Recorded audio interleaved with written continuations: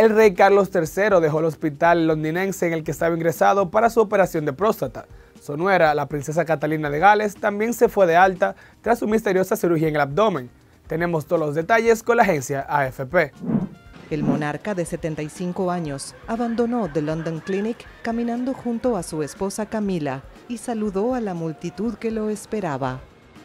El Palacio de Buckingham informó que Carlos ha reprogramado sus compromisos mientras se recupera. La monarquía no suele dar muchos detalles clínicos, pero en este caso lo hizo, con la intención de animar a los ciudadanos varones a hacerse pruebas, y dio resultado. Las visitas a la página dedicada a esta dolencia en el sitio del Servicio Público de Salud Británica se dispararon.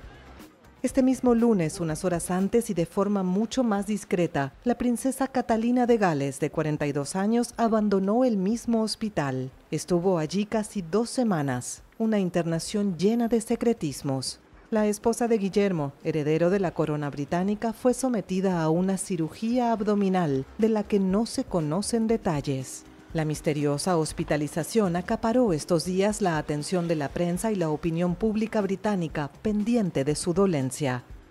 La operación de Catalina, uno de los personajes más populares de la realeza, fue un éxito, según informa un comunicado oficial, agregando que la princesa continuará su recuperación en casa. Todos sus compromisos oficiales fueron anulados hasta el 31 de marzo.